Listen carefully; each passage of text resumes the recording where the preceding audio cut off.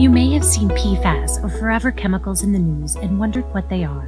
PFAS have been around since the 1940s. These chemicals make things waterproof, stain resistant, or non-stick.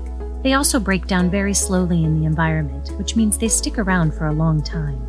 PFAS are so commonly used today, they can be found in our air, water, and land.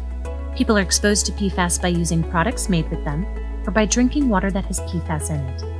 Drinking water can be a significant amount of a person's total exposure to PFAS. Long term exposure to certain PFAS can cause serious health problems. To reduce exposure to PFAS in your water, EPA has set national enforceable limits for certain PFAS that public water systems must meet.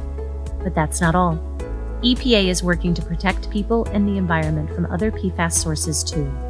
To find out if there are PFAS in your drinking water, contact your local water provider. To learn more about what the EPA is doing about PFAS and the ways to reduce your exposure, go to www.epa.gov/pfas.